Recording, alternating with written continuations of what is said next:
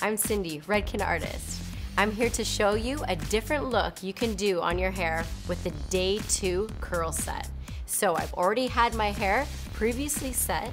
Now I'm gonna do a different look with this and I'm gonna incorporate a braid. Now I'm gonna go ahead and create a section starting from my existing part. Now I'm gonna clip the larger section of hair away. With my small side section, I'm gonna go ahead and add Braid Aid 03 to it from roots to end.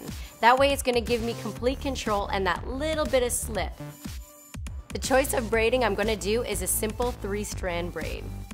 Starting at the temple area, I'm gonna continue it around my head.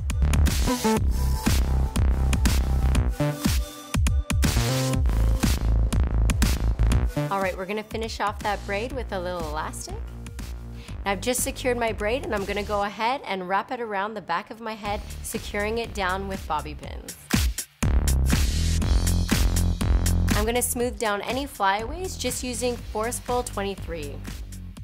A hot tip to get full control, you wanna be able to use a little bit of spray on your fingers. That will clean up any flyaways. To finish off my look, I'm gonna use the Frizz Dismiss Instant Deflate. I'm gonna go ahead and smooth it through just to break up any of the existing curl. Calm down any of the frizz that could still be remaining in my hair. And there you have it, a really quick and easy way to transition from a Hollywood wave to more of a rock and roll downtown kind of feel, just by adding a simple braid.